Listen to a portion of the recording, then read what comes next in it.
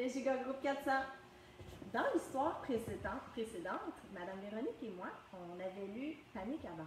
Mhm. Et dans Panique à bord, c'était une façon de lire une histoire à deux où Madame Véronique était la narratrice et moi, je faisais les voix. Donc là où il y avait des petits tirets dans le texte. Là, on va te montrer une autre façon de faire la lecture à deux. Donc, moi, je vais lire. Pardon? Non, j'allais dire avec un des albums qu'on a lu en Ah, première, oui, une des premières journées. évidemment.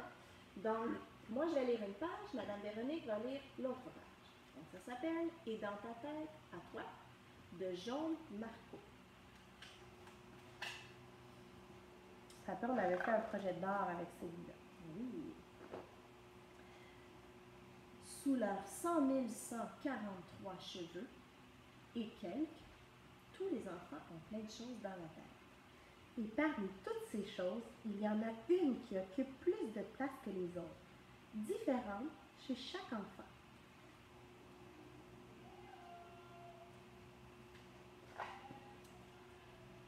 La tête de Charles est envahie par les chouettes, les éléphants, cigognes, baobabs, guépards, guépards, gazelles, orchidées, girafes, flamants roses et goélands argentés, arbousiers, coccinelles, sycomores, hippocampes, hippopotames, pardon.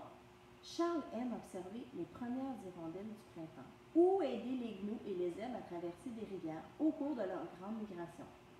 Mais son ami Albert l'ennuie souvent toujours occupé à additionner les immatriculations des voitures et à les multiplier par les numéros du bottin téléphonique. Regarde la tête de, de Charles avec tous les animaux.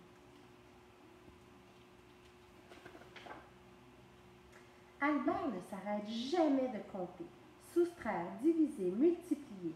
Pour lui, le monde n'est fait que de nombres pairs ou impairs. Selon les jours, il boira un verre d'eau et mangera 17 cuillères de riz, 3 cerises, 5 noisettes, 15 olives, ou bien il se lèvera deux fois, sonnera la cloche quatre fois, et parce que sa chaise porte le numéro 10, changera de place avec Hélène, qui a l'infini de l'océan dans sa tête. On te montre la tête d'Albert.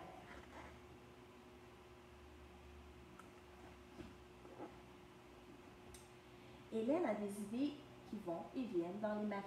La mer remplit toute sa tête, tant elle est vaste. Ses humeurs changeantes l'inquiètent, mais sa présence immuable la rassure. Hélène passe des heures à observer les dauphins, hippocampes, espadons, huîtres, dorades, rousseaux, palourdes, orques, bigorneaux et aussi les trésors enfouis au fond de la mer. Elle est toujours mouillée de la tête aux pieds.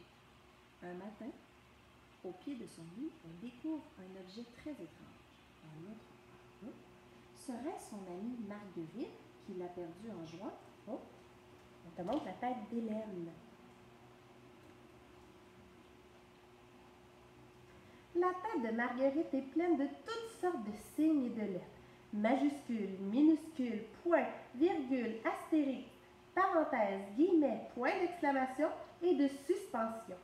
Marguerite sait bien sûr que les lettres forment des mots et que les mots peuvent être lus, parce qu'elle sait déjà lire et écrire. Mais ces lettres à elle voyagent dans sa tête et elle aime les laisser vagabonder. Ce qu'elle préfère, c'est jouer avec les frères Amadus et Pablo. Voici la tête de Marguerite.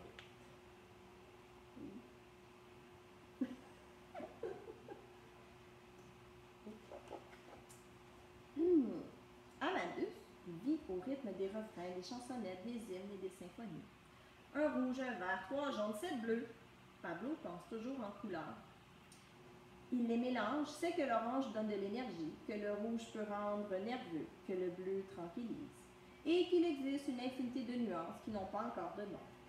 Quand Amadus et Pablo sont ensemble, leur musique et leurs couleurs se mêlent dans un kaléidoscope arc-en-ciel. Mais leur gamme de sons et de tons finissent par envahir la tête de Werther, qui n'a pas, Werther? qui n'a pas l'air d'aimer ça du tout. Un nom plus compliqué à dire. Donc, on te présente la tête des frères. On dit-tu Werther? Werther, on va dire Werther. Werther? Werther semble n'avoir goût à rien. Il est timide, réservé, il n'aime pas parler. Serait-il dans la lune comme Werther, je pense que il se sent pas super bien. Laika, elle, a la lune dans sa tête. Chaque matin, Laika se sent triste jusqu'à la nuit tombante. Et le soir, elle ne veut jamais aller se coucher. Elle voudrait pouvoir enfin voir la face cachée de la lune, car tout ce qui est visible, invisible plutôt, la fascine. En contemplant le nombre infini d'étoiles, elle se dit que Benjamin se sentirait bien trop entouré dans le ciel.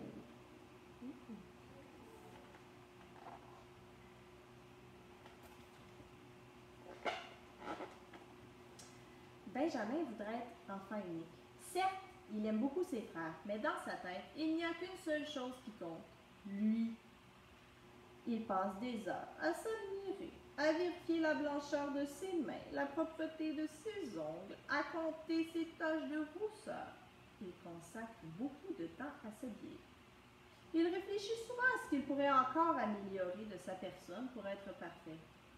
Ce qui n'est pas vraiment la préoccupation première de Camille. Alors, on remonte. Benjamin. Alors, vous trouvez Camille. Camille n'est jamais très sûre de ce qu'elle a dans la tête et en un instant, elle peut passer du coq à l'âne. Il y a toujours quelque chose qui occupe son esprit, souvent même plusieurs en même temps.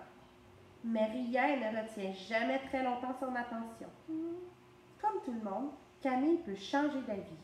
Ce qui un jour compte beaucoup pour elle peut devenir moins important le lendemain. Et il arrive aussi que de petites choses se mettent à prendre beaucoup de place.